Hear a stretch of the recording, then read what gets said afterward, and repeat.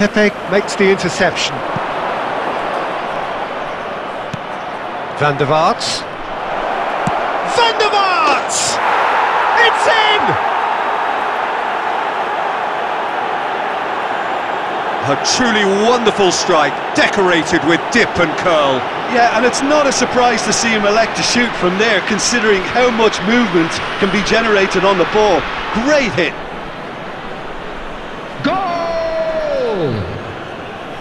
After 39 minutes is number 20,